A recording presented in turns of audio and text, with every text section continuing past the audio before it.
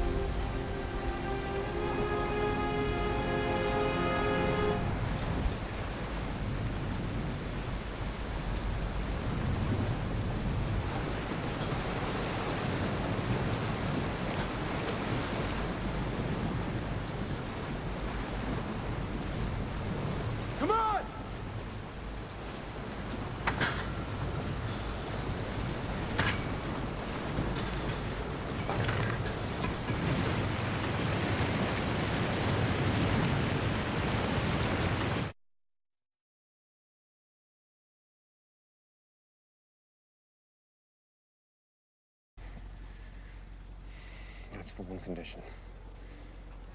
What does that mean? We can stay.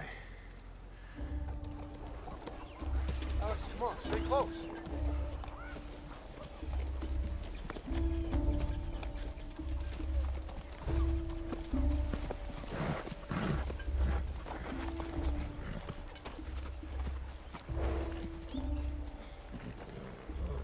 Camp here? Okay. Okay. Uh, thank you.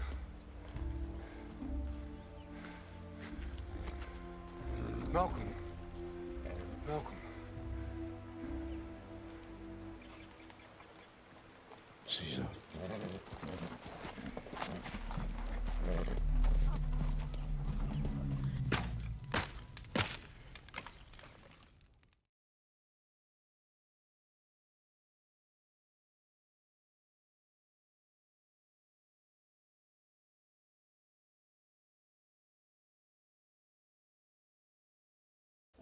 As I said, the thing that was really important to me uh, when I first came in and pitched for the movie was that we we start in the ape world. I, I wanted it to be almost like uh, like a silent movie where we were just um, getting into the sort of intimate family life of the apes, and we see Caesar's new son being born, and one of the things that I thought would be really exciting Mark Bomback and I came up with was the idea of this kind of um, tribal ceremony that would be uh, kind of very majestic and organized and would show uh, really the continuing development and evolution of the apes. And it was a sequence that uh, we thought was really, really cool. Actually, Michael Giacchino had suggested this particular rhythmic signature, which we had on the set playing back. All of the um, actors were pounding on uh, their, the ground and on, the, on their chests and on logs and things to do this kind of rhythmic tribute. And then there would be this moment, which we thought was very important, which was uh, kind of cementing the brotherhood between Koba and Caesar. But when we actually uh, were doing the movie, the, the narrative got a little lost here, and the audience didn't know where the story was going, even though the scene seemed to play very well. Uh, the next scene didn't play so well, and so unfortunately, was one of the was the, one of the scenes I had to lose.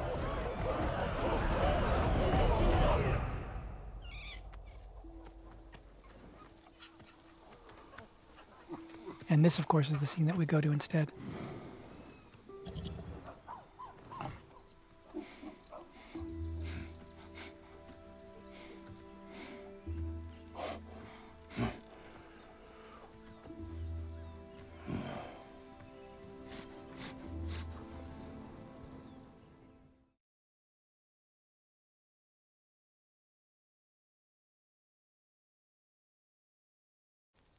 The crazy thing about making a movie like this on this kind of schedule is you turn over all of these shots and a lot of work gets done, and then you suddenly realize, oh, we don't need that scene after thousands and thousands of dollars have been spent.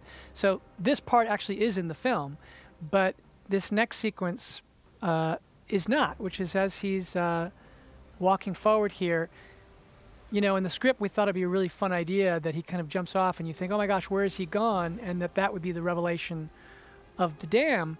But we realized that uh, in editorial, when you saw the story, you already knew that Malcolm was going to the dam because that's all he'd been talking about. And so there was no real mystery to this part of the story. And so uh, we shot it, and we thought it would be a fun reveal. And then in the course of the story, it just felt repetitive. So uh, it's one of those examples where we went through a lot of effort. We did all uh, sort of level of effects here. This sequence is finished, but it uh, it didn't even make it in the movie because it wasn't necessary.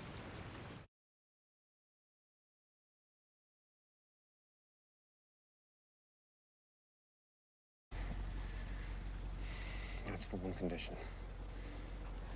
What does that mean? This is um, one of the scenes that we cut that, again, like the tribal scene, uh, makes me very sad because there's something about this scene and that scene that I like very much. But in the narrative, it just really seemed to uh, bog things down. But I felt like this moment here was like out of a kind of a classic western. You know, we were shooting it and uh, we were on Andy's back, and um, it just seemed like oh, the one moment where these two characters, after all of this craziness, sort of introduce each other and um, sort of set into motion the fact that this this whole question of peace is going to flow through the two of them.